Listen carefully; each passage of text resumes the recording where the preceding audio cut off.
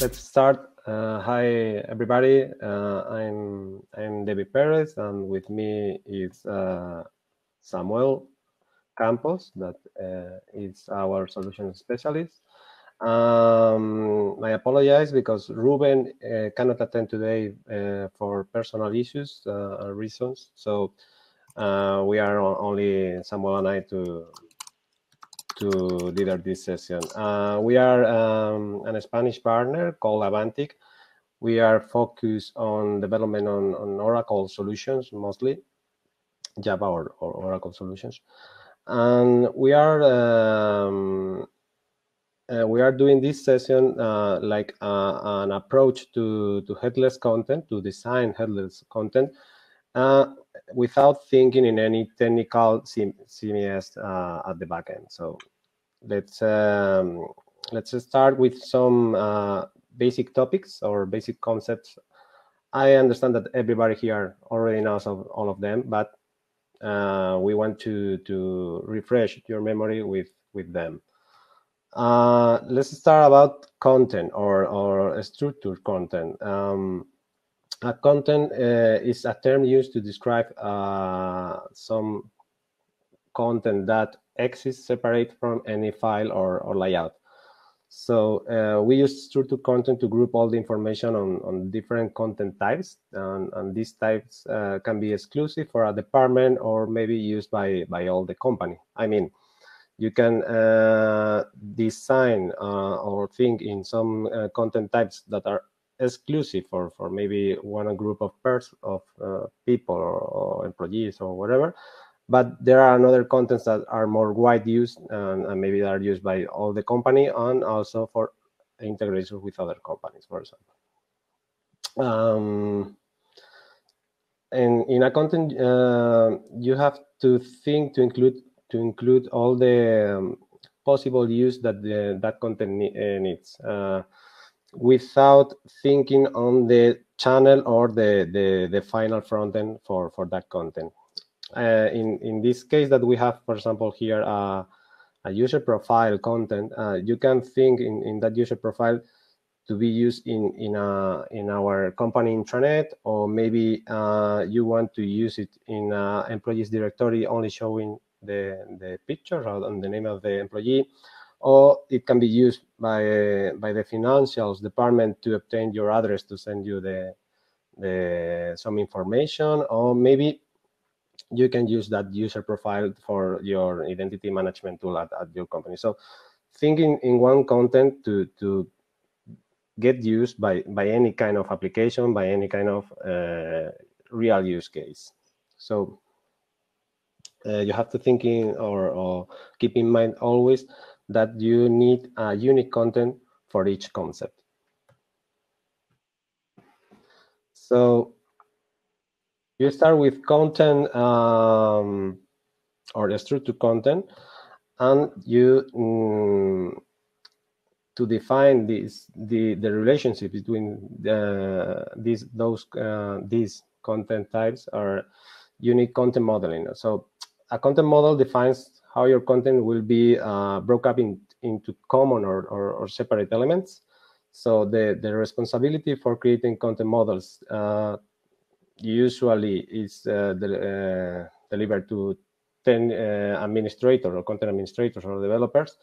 And but every content creator should should at least to be aware or to be conscious of which elements are uh, under that content. So uh, how do you the, um, separate all the different fields of that content so they can imagine what is at the back at, at the at that file. Uh, with a well-defined content model, you can reuse your, your content across different channels, platforms, and, and systems. So reuse is the key. Uh, you will save a lot of effort, money, and and a lot of time that is very important in, in our organization. And a content models uh, uh, con contains uh, detailed definitions of each content type. So you, for example, uh, can mix or, or, group content, create a new content type with another content types that are included in the same in the same in the big one. So you you always reuse those content types, or, and also you link them. So it's uh, you have to think in, in your content model as something like, for example, your database. So you you have to think that it will be used widely by, by any other application or any other system. Um, so we, we have the content, we have the content model, and finally, we have our meta, metadata and taxonomies. Metadata is, uh, well, is, is the information attached to, the, to that content, so that is structured content. And we have different kinds of, of metadata. We have a structural metadata that defines uh, elements that, that need, uh, are, need to be collected, like title, uh, labels, author, creation date, uh, the subject of the purpose of that content is, is very common this in, in document models uh, or document management tools. Uh, also, you have administrative metadata that is uh, created by the system normally, and, and, also you need to that information to trace the the use of that content. For example, um, when you need to to know who who creates the content, who modifies the content, when, from where, and all this information that is um, related to the system, but also related to the content.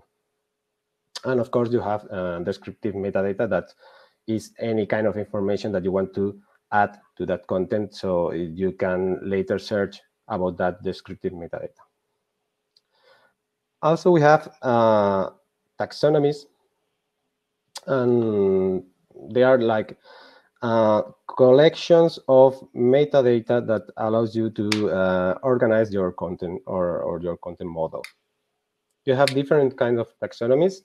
For example, uh, it's very common to have a, a term list that is uh, a list of terms to, that you can um, uh, add to, to, to some contents. For, for example, if you, the, the common an example can be the language.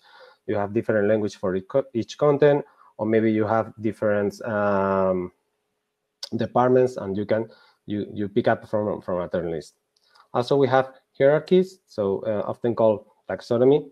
And a hierarchy defines the structural framework used to class classify the terms into parent-child or uh, broad to narrow relate relationships. So hierarchies are uh, used to, to support uh, groups of information and not simply, uh, not just creating grouping. So it's organ organizational grouping. So it's very common to have, for example, your organization uh, structure as a taxonomy, or maybe your uh, document model, uh, different kind of, of content types in, in separate labels. And this can be also a taxonomy. And finally, we have the, the thesauri that uh, translates uh, conceptual re relationships between the content, often made naturally by humans, into something a computer can understand. So thesauri typically address three types of relationships, equivalent, hierarchical, and associative related terms.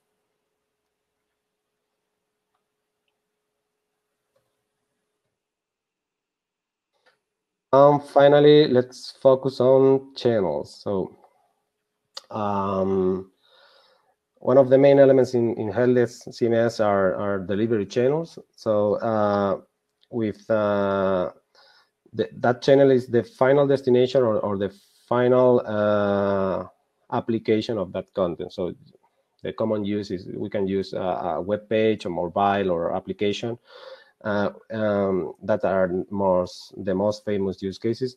But also we now are, we are starting to use the, the same content in uh, virtual reality or augmented reality applications, or also in, in digital assistants or, or, or voice uh, systems. When we are talking uh, about headless CMS, uh, uh, that system provides all the capabilities of a standard CMS, the backend, but only uh, taking care of just the information and the content. It's not taking care or, or responsibility of the front end of that uh, information. So the the content is always pushed by a RESTful API. So you can uh, send all the information of your contents to any system with a standard RESTful API. And uh, that allows uh, to connect your CMS with any other system that can be a web page, a mobile application, uh, Google, Alex, uh, Google Assistant, Alexa, or any other system. So uh, keep in mind that in a headless CMS, we don't uh, generate any front code, any front-end code. So all the information is, is uh, just for the contents on the API. And these kind of headless systems are also referred as content as a service because it's only taking care of the content. So uh, it can uh, allow you as a designer or developer to to think more, more in the information and not in, in the in the front end or, or the application or, or layout in it. Let's go ahead with headless. As, as David said earlier, uh, headless CMS is a system that takes care of our content, but not of the way it is presented. Uh, it only takes care of the attributes, the metadata, the taxonomies, the relationship that those contents have have within uh, our system. But the main issue when we are uh, working with this kind of, of, of tools is that, is that we are used to, to work with other kind of CMS uh, that we now call uh, the classic content management systems. Uh, these classic content management systems usually have a, um, a tool or, or a module that enable us to create uh, web pages or a final delivery system for our content. Uh, it could be via web page or a newsfeed or a mail delivery service. Uh, but now we here in, in headless CMS, the main focus of the of the of these uh, tools is to take care only of the content and leave the rest of the development of front end to other tools that are must uh, or are more uh, um, specialized in that in those kinds of of work. Uh, maybe this can help us uh, understand better. Uh, this is a nearless, nearly headless because this we can see that the head is the delivery channel uh, the final destination of our content, the way our content will be presented or will be utilized. And here we have the backend uh, headless CMS that only understands about content. It doesn't understand about JavaScript. It doesn't understand about HTML. It doesn't understand about uh, JSON. It only understands about content and the way it is stored and the relationship the contents have with it, within it and each other. Uh, and the only way these two elements connect is with the JSON, uh, I'm sorry, with the REST API that usually uh, uses JSON or, or XML. But uh, this is a, a kind of uh, weird, weird way to look at it, but uh, it, it works for me. Um, a headless CMS works obviously with headless content. Uh, as I said previously, headless content doesn't understand anything about HTML, doesn't understand anything about J JavaScript or layouts or way it is gonna be presented. It only understands about the data, the information that is going to be stored within the uh, content management system. In headless CMS, uh, what matters is not um, also uh, the final destination of the content. Uh, because uh, not the way it's going to be presented on that front end, but the information that is going to be presented on that front end. Uh, for example, uh, within an HTML or, or, a classic implementation of CMS, we usually tend to look first at the layout of the content or, or, or the design of the web page, and from that, build up on that the different kind of contents and the content model that is going to be implemented in that uh, web page. Uh, here things must change a bit because um, we are not talking only now about web pages or mobile applications. We are talking about any kind of different digital experiences that are currently available in internet. If you think about your your day-to-day -day life, uh, you see that not you are not in front of a screen all the time. You constantly are using services from the internet that present to you not only by a, a screen, but uh, within Alexa that it's talking to you within a GPS and you can it's a screen but it's not a computer. It's not something you that can interact with it with a mouse. Uh, also you have other kind of uh, digital experiences within web pages uh, because not only in web pages are, are shown uh, articles or products or html pages but also uh, interactivity with other tools like uh, enterprise digital assistants or news feeds or mail delivery servers that you can interact with them, but not in the same way as you interact with a common HTML page. So uh, the main focus of uh, this obvious of this presentation is to take a look back of how are we uh, designing these content models currently in in our world that is uh, step, uh, taking a step forward from uh, classic CMS to the now most efficient headless CMS. The first step that we have to do in order to leave behind or, or not leave behind, in order to improve uh, the way we use headless CMS is to stop just layouting. As I said previously, the common way we are used to interact with this kind of projects in which we have to implement a new uh, digital experience for a customer is that the customer brings us uh, a design, an HTML design, uh, and from that we start to build content. This this is still this still can be done, but it's not uh, the best way we want to do it when we are facing not just an on-screen uh, digital experience, when we have multiple digital experiences across the, our organization of, of, of the client or, or the client organization, we have to focus more on the channels that the, our content is going to be presented and less about the layouting of the, of the content. How we do that? Uh, the the first uh, step that mainly is going to be necessary to do is to inspect your content. Depending on the delivery channels, we can determine the characteristics of the content model. Uh, as I said, uh, we are used to to think only on about on-screen uh, deployments or on-screen experiences like web applications, mobile applications.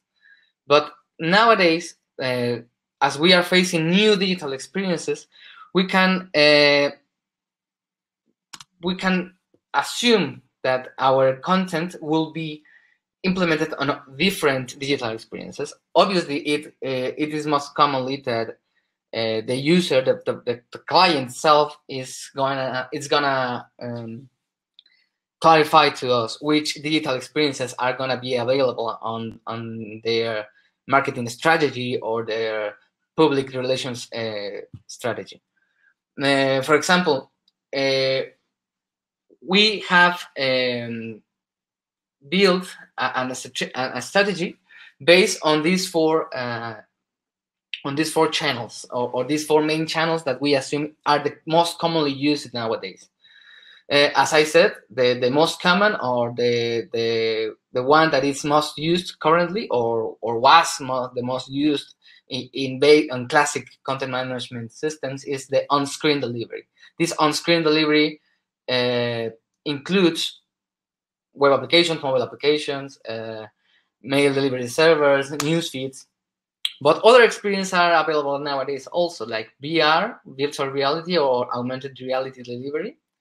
Uh, we are going to uh, watch more on detail all these uh, deliveries on, on, on, the subsequent uh, slides.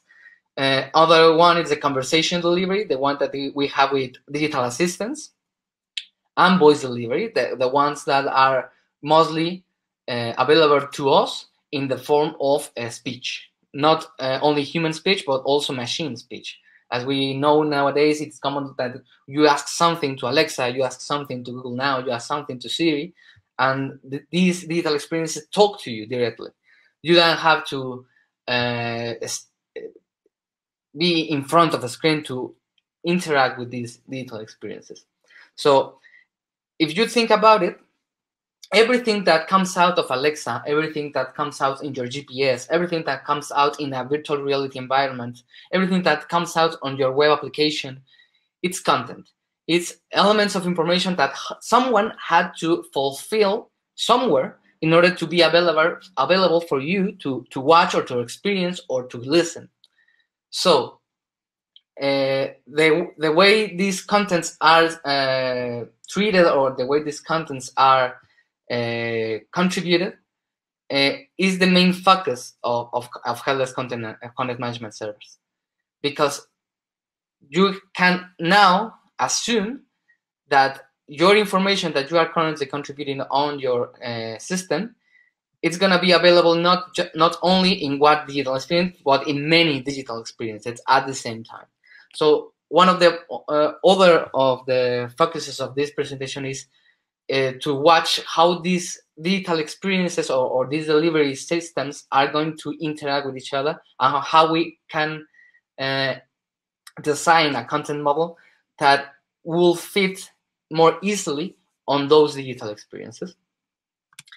Uh, the first uh, digital experience or the first um, content delivery that we have here is the on-screen delivery. It's obviously text-based. Uh, everything uh, you uh, contribute, it's gonna be mainly text. Um, obviously, you can uh, put also different type of viewable viewable media like videos or images, but the main focus of the information is gonna be text. Uh, it involves classic layouting. I mean, for classic that uh, it's to be presented by HTML with JavaScript with uh, CSS tools that are already well known. And these content attributes, uh, the content attributes that are going to form this content are mainly going to be like title, description, text, and as I said, optional media like images and videos. For example of these on-screen deliveries are, as I said, web pages may deliver the system, news feeds, mobile applications, etc. The other kind of uh, digital experience or delivery system or channel, as I uh, as you as you can assume this is gonna be, is uh, virtual reality or augmented reality delivery. These experiences are based on experience of the user experience or the user viewpoint. Uh, for example, uh, this this is an example that is uh, very easy for me to, to explain. So uh, I'm going to use it a lot uh, on the on the next slides. But one of these uh, examples is imagine a museum that you enter a museum that has the capability to, to interact with it with augmented with an augmented reality application. based on your standpoint of view or the location you are within the museum it's going to be the contents that are available to you. Now I, for example you are in, standing in front of, of a picture or in front of a, a sculpture and the information that is going to be available to you is going to be about that sculpture about that that picture. So these elements or these data about gps location about uh, uh, things around you, about your environment, could be also stored as information within the digital within the content and experience. Uh, I'm sorry, within the content management server. Uh, this data uh, can be presented within the virtual reality and the augmented reality as images, as text globes, or as GPS metadata as I as I said, uh, one of the main uh, goals of virtual reality or augmented reality is to enhance the the perception, enhance the experience that the user currently is having in with his or her environment, and this uh, environment is gonna it's gonna add more value to the content by adding it information that it's gonna be needed in order to retrieve it from the content management server. Uh, examples of these uh, um, deliveries are Oculus Rift, Google Cardboard, or, or HoloLens, or even PlayStation VR. Uh, we, we, we should remind here that, as I said, every, every text, every image, every sound, uh, sound that we are listening and, and some kind of digital experience comes from a content management element. It really can be a content management server, headless or not. What, what, one, one thing that we have to take in, in account is uh, that even PlayStation VR or HoloLens or Google Cardboard can be connected with these content management with these headless content management servers because they are agnostic. They don't know the technology they are built, the other elements are built on. They don't know if Oculus Rift is written in C. They don't know if HoloLens is written in Java. They don't know if am I'm giving examples.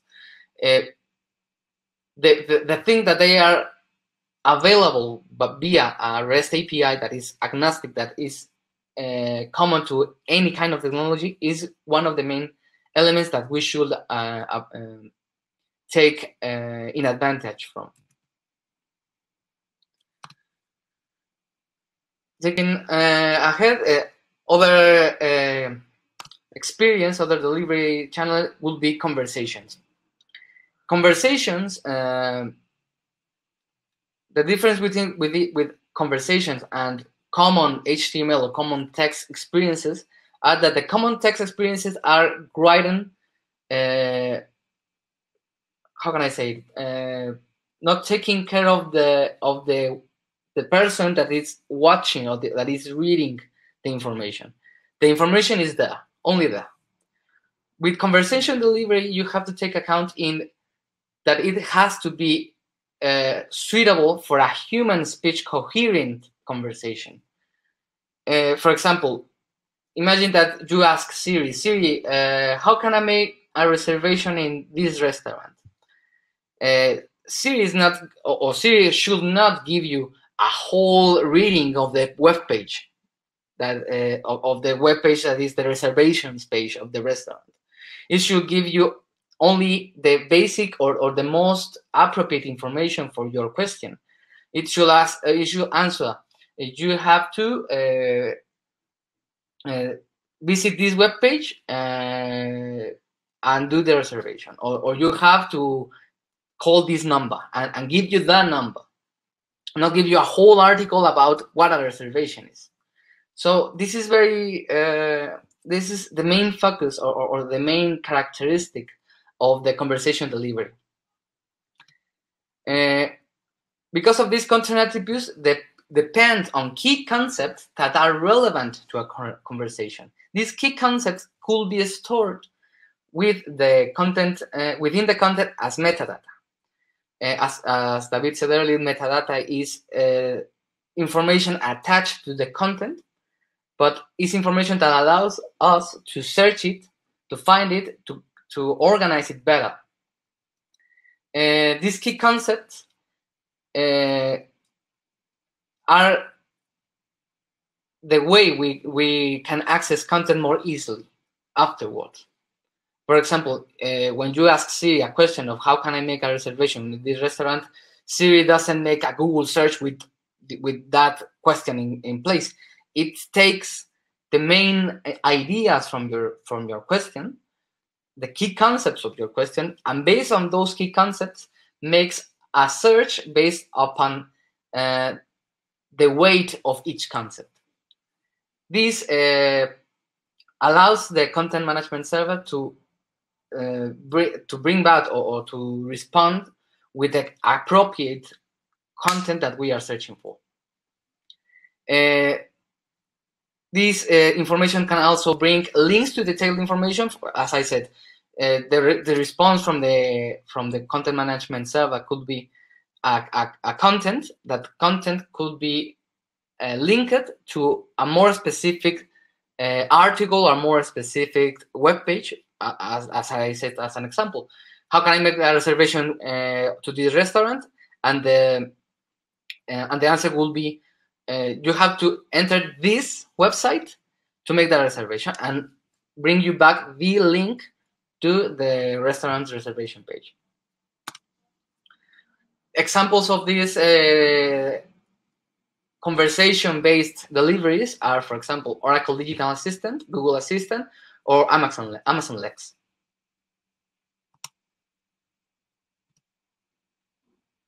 And the final uh, uh, delivery that, that we can uh, view within here uh, is human speech coherent speech. It could be uh, it can be confusing to, between this one and the conversation, but the main focus here is that it, it is not uh, based upon text, it is based upon speech. It could be written speech by a machine or a voice recorded or recorded voice. It is, as the previous one, based on key concepts. But the main difference between this and the other one and, and the conversation based is that it's voice uh, based, is upon sound. Examples for this are Siri, Alexa, and Google Now. Now, uh, the main feature here is designing headless content. We have to go from bottom to top. When designing headless content, it is better to start thinking about the attributes that are going to com uh, compose our content. As uh, we saw in previous slides, we saw how these attributes will be in every one, in, in each of our uh, deliveries, in each of the deliveries that we are proposing.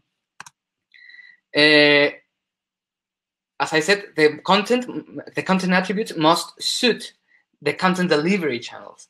Previously, in in in traditional uh, content and experience, I'm sorry, in, in traditional uh, content management systems, in, in uh, we are we're focused on layouting.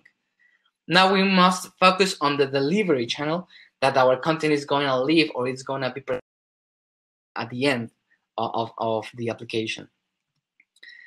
Uh, content attributes uh, could be of, uh, as we see, uh, as we propose with this methodology, is that these content attributes can be of these five types. They can be text, they can be viewable media, like images and videos. They can be listening media, like podcasts, music, music and recorded voice. They can be GPS metadata, or they can be web-based data, web-based information, like HTML pages and links to HTML pages. And as you can see uh, here on, on the lower on the lower right corner, we have this uh, diagram that has these four uh, channels, these four delivery channels that is on screen, VR, conversation, and voice. And we are going to see upon them how uh, these attribute, content attributes uh, enter within each of these experiences. The first one that we had was text. Text is present on every one of these uh, uh, experiences, on every one of these uh, channels, because on screen is the text that we read. In virtual reality, is the text that pops up of an, an sculpture that says which is uh, the author of that uh, sculpture. In a conversation, is the text that we read that the, that the digital assistant uh, responds to us in the conversation. And in voice, it can be the text that is written by a, an application that is capable of reading text. The next one is going to be viewable media. How viewable media suits these uh, channels is that it's present on on-screen deliveries, on virtual reality on, or augmented reality deliveries. For example, uh, uh, uh we can uh, we can be again the example of the museum. Uh, we can be at the museum and we can see the an, an, a picture of certain of certain author and we want to know more about the author. So it can pop up an image, uh, a, a, a, portrait of, of, the author of that of that picture.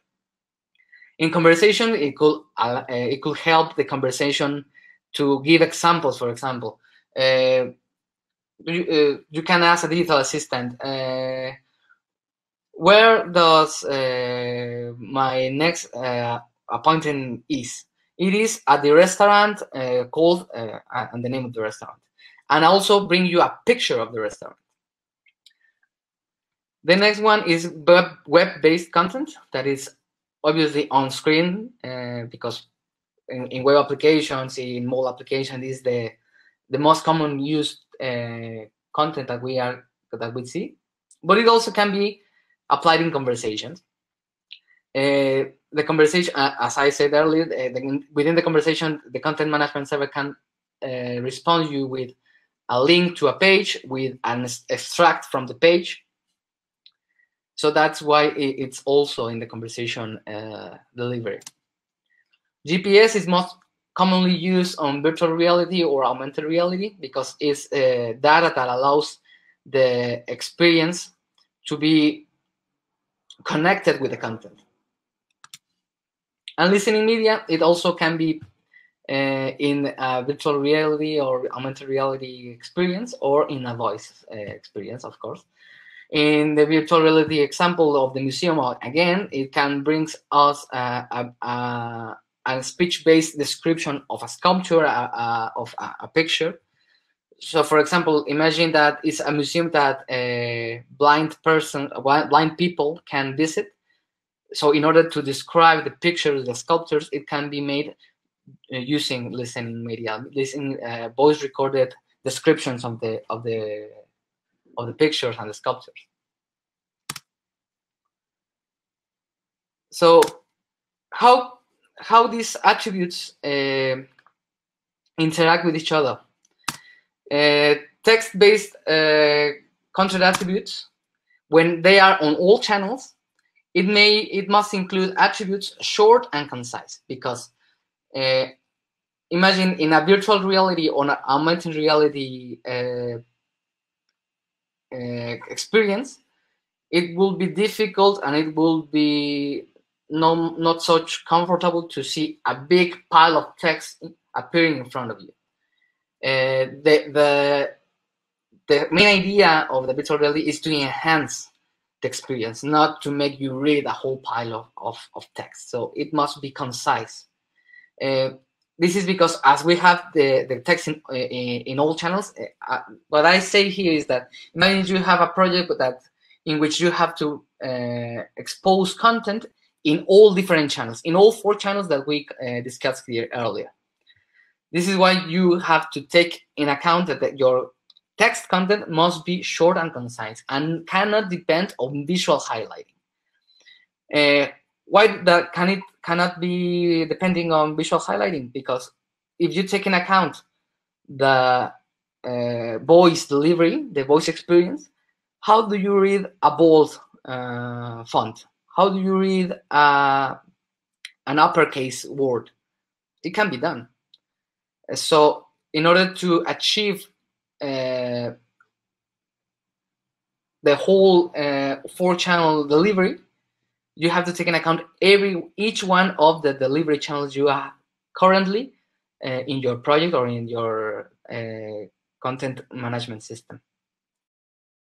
Instead, if you have only on-screen virtual reality and conversation but not listening, you could use visual highlighting. But if only you are using on-screen delivery, you can go crazy. You can do anything you want. Obviously, uh, taking into account uh, the design patterns that are most commonly used nowadays and all that. How uh, visual and listening media should be in uh, in in experiences that are on screen, virtual reality, and conversations. Uh, this is, is a key point. Media should assist text, not just depend on it. For example, if you have, uh, again, the example of the museum, you have a, a, a picture or, or, a sculpture and you, uh, you want to give a brief uh, explanation or a brief description of the, of, this, of the sculpture, you shouldn't read the whole Wikipedia page about the sculpture in, in that in that uh, listening media. You you must do only uh, include the basics or, or, or the most important information about that element. and if you have uh, on-screen delivery, you can go crazy. But maybe this uh, also can apply for for on-screen uh, deliveries. That if you want to assist your content, you want to improve the experience of your content, you must not abuse using videos or, or listening media. I remember uh, back in the day and uh, on early 2000s uh, when the web or the Flash-based web pages were common, that it all was animated, it all had sounds, it was very very disturbing, it was very very uh, uh, distracting from the main focus of the page. So if you want to deliver content that is uh, not just correct but that can capture the, the attention of the of the viewer of the consumer of the client you, you must take this uh, also into consideration. And last but not least uh, the web-based content. Uh, it can be used on screen and conversation but the web content may bring the user a detailed view of the content information like full articles news product info but not it cannot be the only content that is displayed to the user uh, in the example of the of the chatbot or, or the digital assistant in, in which you ask it, uh, how can I make a reservation in this restaurant? It should not bring you the whole uh, web page of the of the restaurant. It should ju just bring you the detailed information, the, the, the backbone information of you have to visit this web page to make the reservation. And it has to be the user intends to click on that page and view that page not just slap it in the face with with the content and, and the HTML. Uh, how can we uh, uh, use taxonomy and metadata in headless CMS?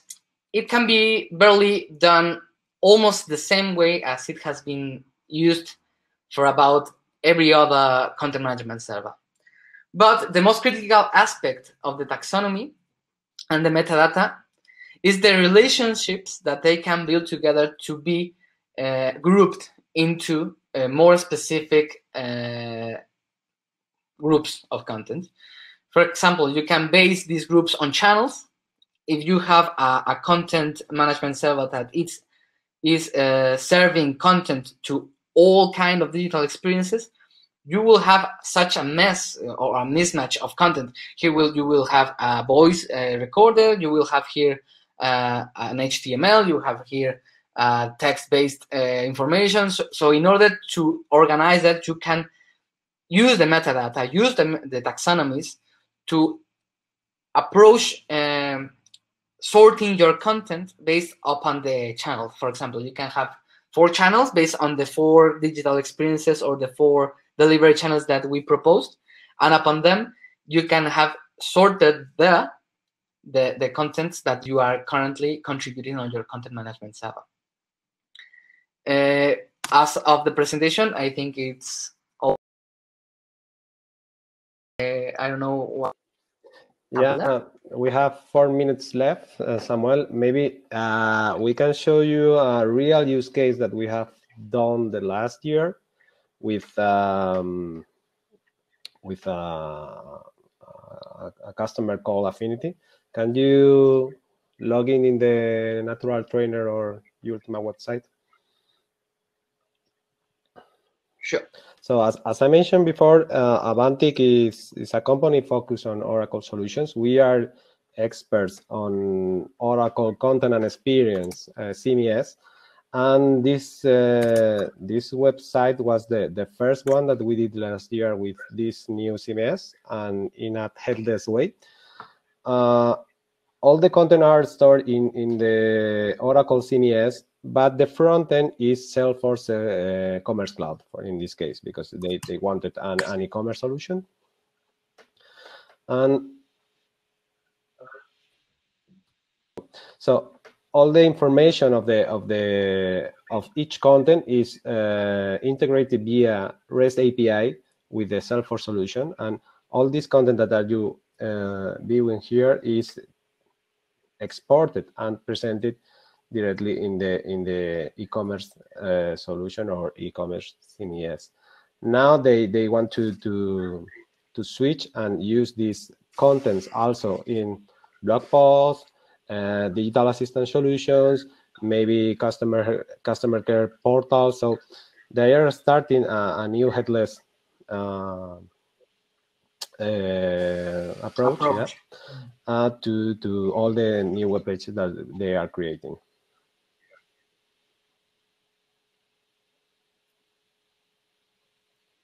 For example, here you have here the banners that are stored here in digital uh, and, Oracle Content and Experience. These banners are contributed here in content and experience, but then are used within the Ultima site within Salesforce. And Salesforce is the one that uses its own layouting system, its own layouting model to present our contents, to present the contents that are stored in, in Oracle Content and Experience. So in this way, uh, we only had in this project one delivery channel that was on-screen delivery. So uh, it is just a web page. But we wanted to uh, do it headless. So whenever Affinity, in this case, that is now uh, tending to approach with different or other different uh, experiences, it can be done. It, it, it can be done and not by uh, modifying the contents, but only implementing this these same contents in other mm-hmm. experiences. Also, we we use here basic concepts I mentioned before. We use in taxonomies.